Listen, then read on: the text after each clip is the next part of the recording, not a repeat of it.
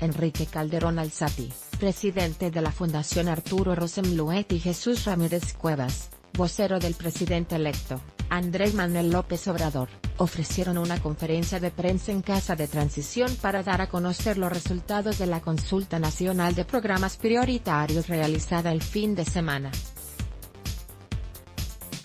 En el evento, dieron a conocer que 925 ciudadanos participaron en la consulta para la construcción del Tren Maya, y resaltaron que el 90% de los mexicanos votó a favor de los proyectos.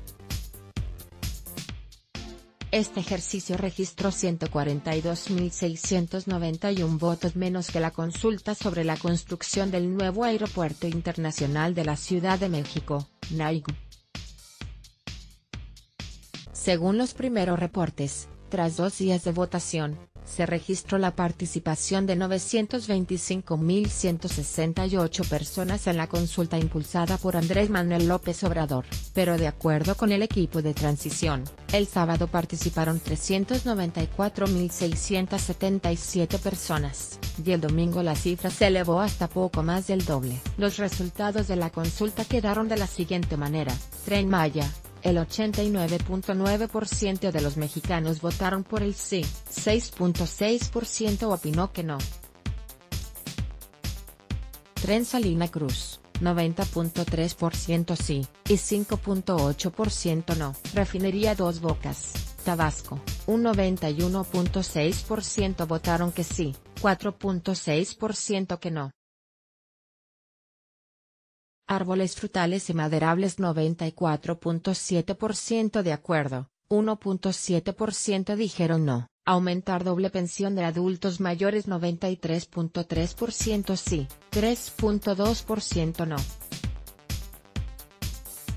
Becas y capacitación laboral a 2.6 millones de jóvenes 91.1% sí, 5.2% dijo no. Becas estudiantes escuelas públicas nivel medio superior 90.1% sí, 6.0% no. Pensionar personas discapacidad 91.2% sí no, 3.4% dijo no. Garantizar servicios médicos a población sin servicio de salud 95.1% sí, 1.6% no, la cual tuvo más respuestas positivas. Cobertura gratuita de Internet en carreteras, plazas públicas y escuelas 91.6% sí, 4.4% dijo no.